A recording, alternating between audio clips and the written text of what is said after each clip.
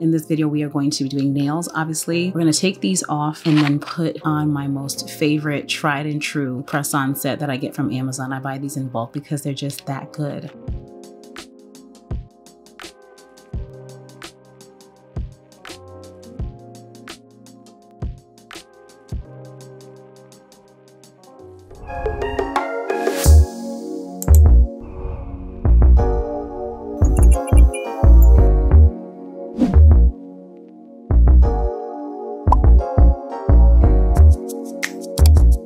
So I've been doing press on nails for years now. These are an old set. These are press ons. I always do press ons. These look toe up. They're a white set and I get most of my nails from AliExpress. I'll link this particular nail set below. They're also on Amazon. Now, to be honest with you, normally I will file these down and then use the foil that has the actual cotton pads on the inside. I soak them with acetone and then take it off. That's the proper way to do this, but I cannot lie to you. Many times once these nails are just old, they come off real easily and I just pick them off, okay? I don't advise this, but I'm just being honest. So right now I'm gonna try and pick these off. If it works, that's how I'm gonna remove them. If not, we'll do the other way.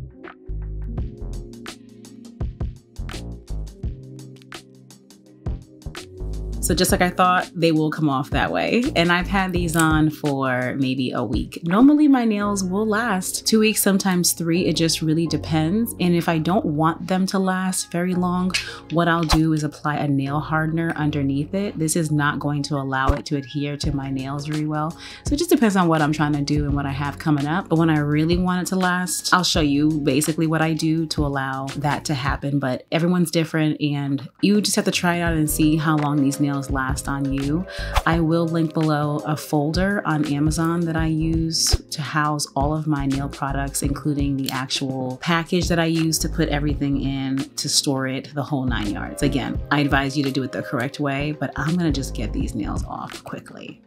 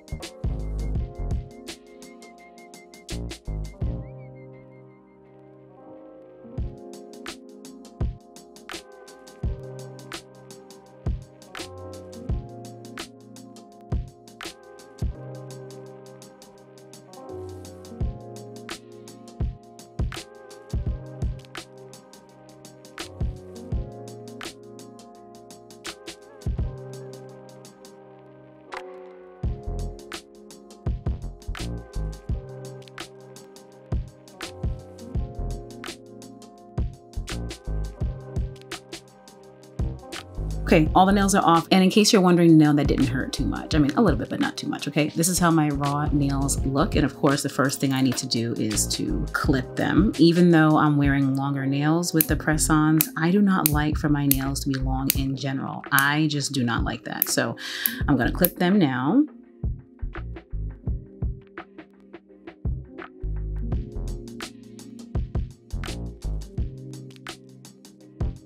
And now, right here, honestly, the most ideal situation would be for me to soak my fingers and do all this. But honey, I don't be doing all of that, okay? I just be making it do what it do.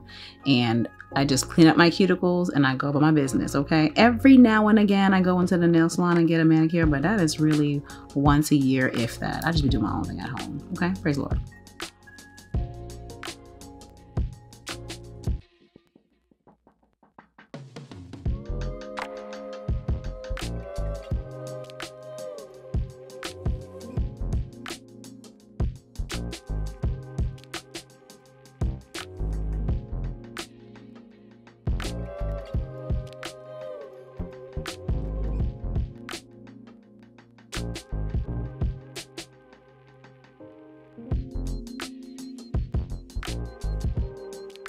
All right, so now I size the nails to see which are gonna go on which finger. I don't use the glue that it comes with because I prefer this Kiss glue, which dries extremely fast. It's the max speed nail glue.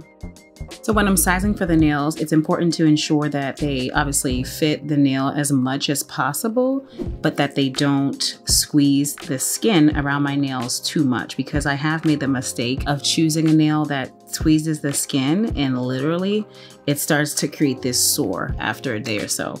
Now, with that said, I have wide nails, and in these kits, sometimes a bit of my nail will show. Even with this one, for instance, a little bit of my nail will show on the side for this thumb, but I'm okay with that because whatever, right? It's not gonna be absolutely perfect. Now that I've identified all of the nails that will fit, I'm gonna clean my nails off with acetone just to get all of the possible oils off of my nail. This is a great way to ensure that the nails really do stick to my nail well. Again, if I didn't didn't want them to last too long, nail hardener underneath will suffice and they'll start to lift after a few days.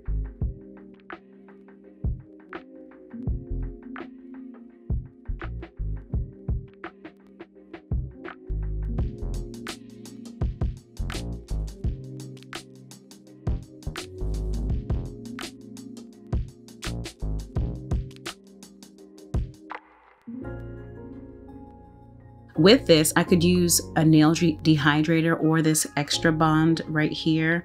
I've done this before. Let me just do it now. I mean, I don't always use this, but whatever.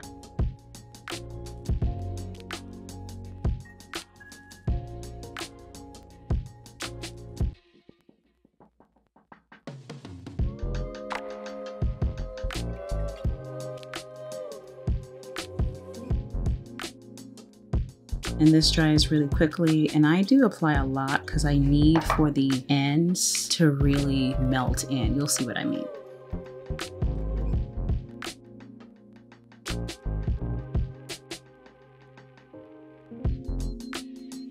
I need all of it to catch the glue and it dries fast.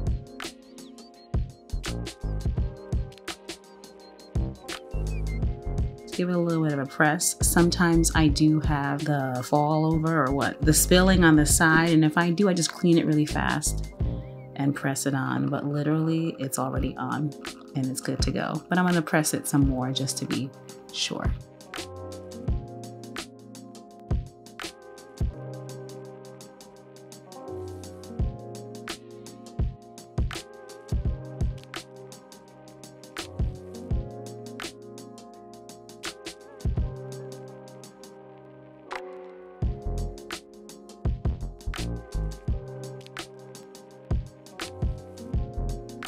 Like I said, these nails can last me up to two weeks, sometimes one week. And when I say last, I mean the time before it starts to lift on the sides or start to look raggedy.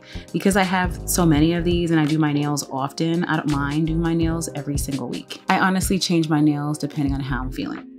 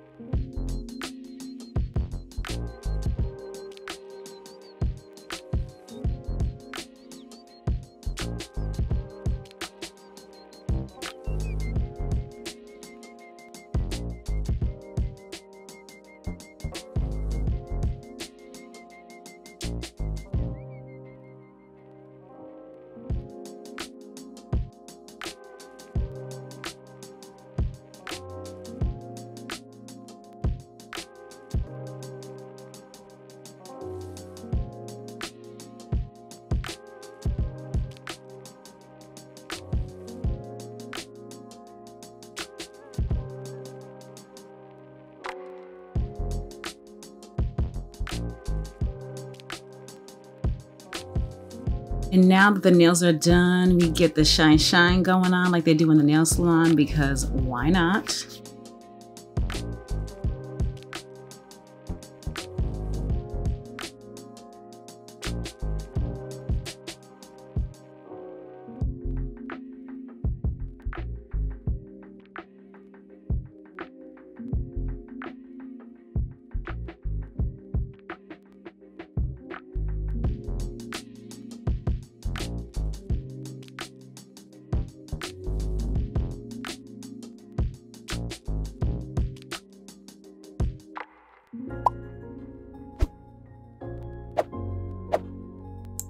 And the nails are done. Sometimes one or two will be a little crooked, but I don't really be caring, okay? This is the final nail. I love these. Again, I'll link everything below. I just love them. They're easy, they're classic. Let me know if you plan on trying these out.